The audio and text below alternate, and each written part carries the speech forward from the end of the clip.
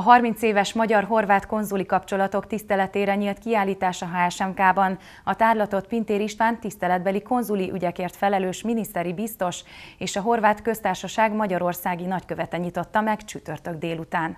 A Tisztelet a tiszteletbeli konzuloknak című kiállítás plakátjain olyan tisztségviselők láthatók az ókortól kezdve a középkoronát egészen napjainkig, akik példaértékű módon viselték hivataluk.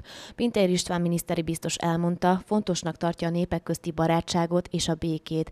Ez a rendezvény pedig pontosan ezeket a célokat hivatott szolgálni. A mai kiállítás a tiszteletbeli konzuloknak az évfordulója alkalmából nyílik meg, különös tekintettel, hogy a horvát és magyar diplomáciai kapcsolatok kapcsolatok felvétele 30 éve történt meg.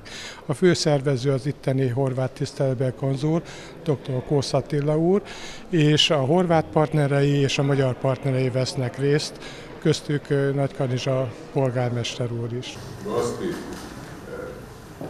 hrvatski župani, visoki predstavnici mađarske vlasti, a megnyitón Leden Annics a magyar-horvát kapcsolatok jelentőségére világított rá.